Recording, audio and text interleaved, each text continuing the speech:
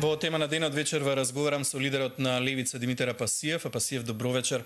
Добре дојдовте во дневникот. Добро вечер. По, по долго време. Да, ви имаме во во студио. Некако парцијално денеска ги добивме повеќе информациите во однос на така речено договорени измени на изборниот законник кои што биле утврдени во работните групи. Премиерот утрово информираше дека е утврден 2% прак за независните советнички листи. Дополнително попладнава министерот за правда информира дека има и прак од 3% за советничките листи. Како ви изгледа ова? Дали ова играње мајтап со малите партии? Па не знам кој тоа го договорил, бидејќи ние во целиот процес бевме вклучени од почетокот. А, значи, нашиот пратеник Борислав Крмов учествуваше на сите средби кои се одржуваа во клубот на пратеници и вакво нешто не беше дискутирано. Беше дискутирано ова со 3%, меѓутоа ова со 2% за независни листи немаше никаков таков. Од тука нашата констатација е дека големите партии, односно широката коалиција на СДС, ДУИ и ДПМН си го има ова договорено зад затворени врати и сакаат по експресна постапка да го протуркаат низ собрание. Ние, впрочем, јас како пратеник, кој веројатно утре ќе биде седницата, го немам добиено текстот се уште. Значи, ние со Борислав Крмов на Мајтап се викавме да не го има изедено министерот Маричиш изборниот законник, па да не ни го доставува. Не знаеме каде, не знаеме Последно што е дека е доставен до собрание, но до пратениците до овој момент не е доставен. Да, деновиве веројатно ќе го имате. Ние слушнавме првични реакции. Павле Трајанов од Демократскиот сојуз вели дека ќе одат со филибастеринг за да не се дозволи вакво нешто. Каков е планот на левица? Може ли да се спротиставите вакво нешто да се усвои? Дос, апсолутно. Досега ние во нашата програма од принципиални причини секогаш сме за намалување на цензусите на директна, односно непосредна демократија, а не за зголемување, така и во овој случај, иако принципиелно мислам дека тука е најголем стравот на СДС, бидејќи овие нови дечки кои се појавуваат како зелени, всушност земаат нивни гласови mm -hmm. и ова е блицкрикот кој тие им го прават,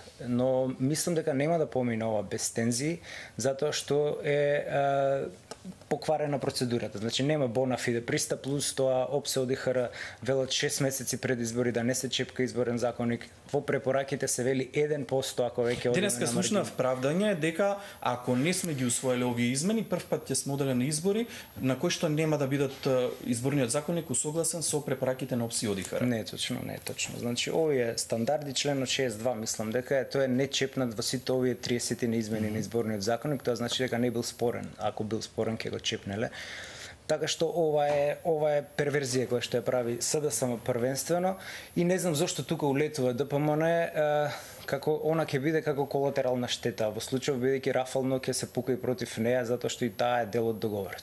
Може ли да им објасниме на граѓаните, вие сте професор по по так. право, посликовито да им објасниме на граѓаните што значи ова 2% за да. независните и 3% значи, вака за како што е формулирано е многу бенигно mm -hmm. и за обичен граѓанин лайк не е не е нешто И на таа карта играат да. веројатно големите Е сега стравот кој е за овие зелени до сега фиксно е утврден бројот. Значи фиксно, буквално во законот се пропишува на општина со толку жители треба 500 подписи, треба 1000 и така на. За град Скопје стои сега во сегашниот изборен законник 1000 подписи фиксно.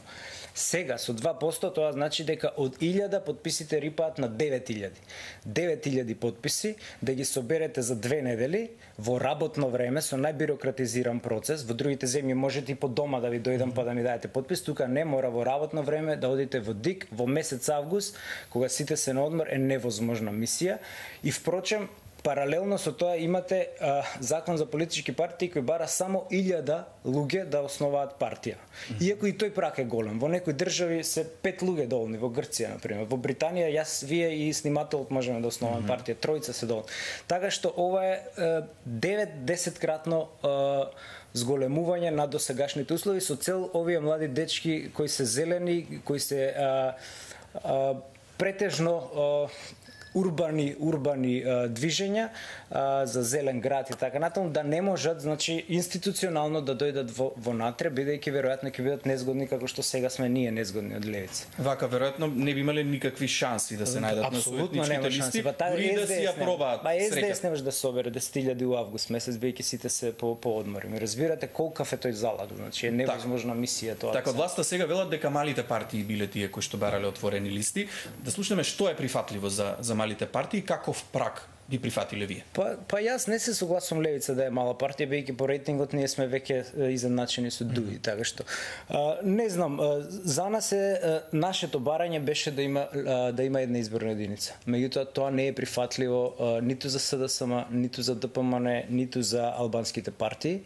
Меѓутоа, тој услов, еве јавно кажувам, ќе биде услов за наредна влада. Значи, уште во првите 100 дена, Левица која ќе учествува после падот на овој хибриден режим, услов ќе биде една изборна единица.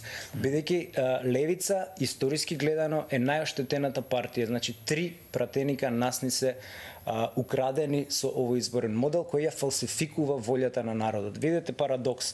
Алијанс Алтернатива имаат два пати повеќе гласови од нас, имаат 80.000, а имаат 6 пати повеќе мандати од нас. Имаат 12 пратеника, а ние 2.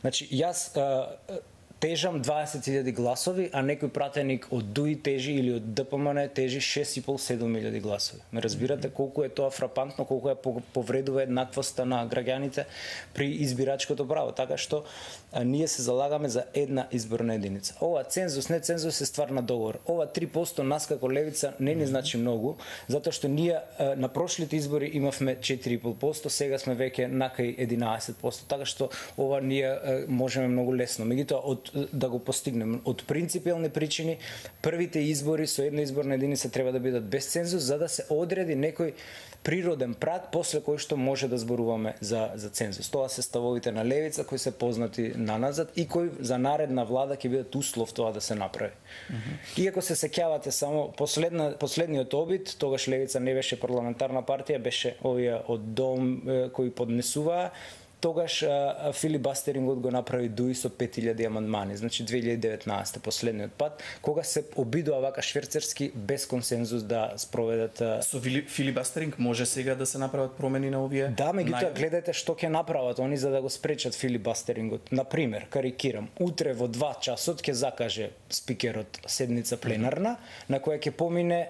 потребата од донесување на закона. И сега, во два часот ако да помине потребата, веќе во три часот председателот на комисијата може да ја свика комисијата, формално правно, иако законот вели пет дена треба да ни остави, нема да ни остави ни, ни пет сати, значи за саат време, колку амандмани можеш да напишеш за саат време, ме разбират?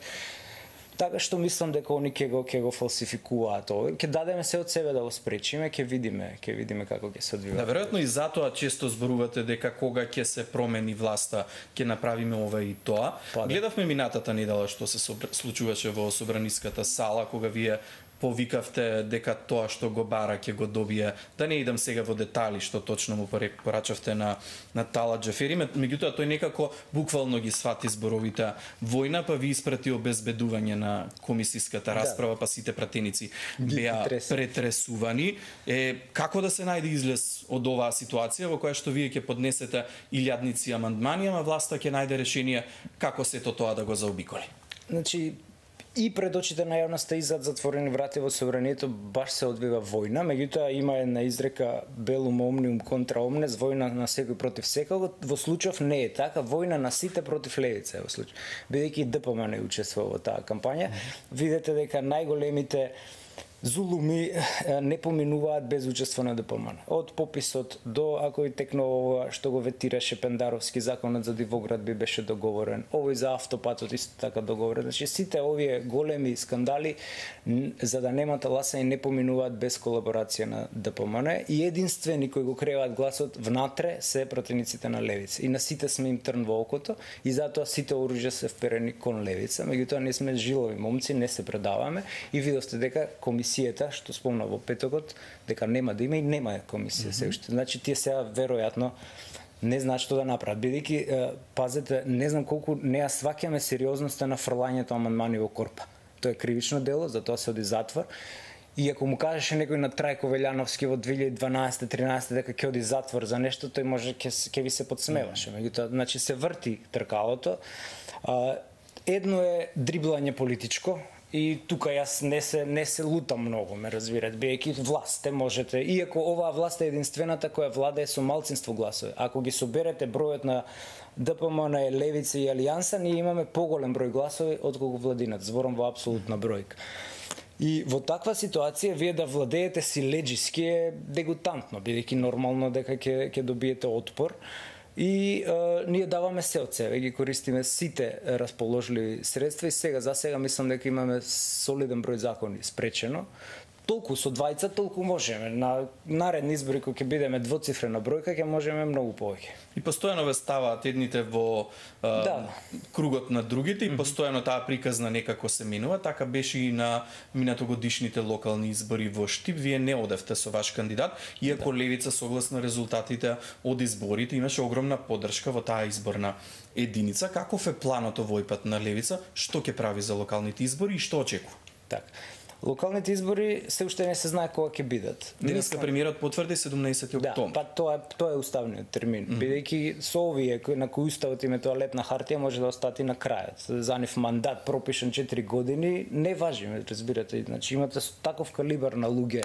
Едно читаме и сега они различно го го разбираат. За овие локални избори таргетот на левица се советниците. Значи нашиот таргет се а, јаки советнички листи со кои што ќе ги пробиеме исто како што сега пробивме во собрание, ќе пробиеме во советите, бидејќи видите во советите е многу поинтересна ситуацијата. Најчесто ако има на пример карикирам 24 советника, 13-11 или 12 12 некако така се. Значи се со еден двајца се е сега во таква ситуација двајца тројца советници на левица во некоја општина е, е е јазичето на вагата без кое што ќе не може да се донесе буџет, да се гласаат дупови, да се прави урбана мафија, да се прави нивни парцели и така натаму и е, затоа таргетираме на советници, работиме на листи, одиме сами на, на овие избори, тоа е одлука на Централен комитет и тоа е согласно нашата програма за забрана на предизборно коалицирање, конечно да видиме кој колку тежи на политичкиот пазар. Нема да одиме во сите општини, бидејќи немаме мрежа се уште во, сите општини. Ние сме единствената банкротирана партија, ако знаете, нас ни пропадна сите пари во Евростандард банка. И надвор од овие дримерски финти, партија без пари не можете да водите, меѓутоа ќе вложиме се во оваа кампања. И верувам дека Левица ќе има енормен скок за разлика од 2017 тогаш имавме три советника, сега ќе имаме многу повеќе советници. Кандидати за градоначалници никаде Ке, нема да не, или некаде имаме некаде, некаде ќе имаме, веќе стигнуваат си вие, се одвиваат разговори, меѓутоа ќе биде драстично помал бројот на градоначалници отколку е, советнички листи. Како ги бирате кандидатите? Па ги бираме првенствено преку локалните ограници, значи грасрут од дола со пријава е, на интерес и потоа доаѓаат на интервју пред президиум и така одлучува. Значи Така. президиумот кај нас е главниот екзекутивен орган кој кој ги води политиките практично.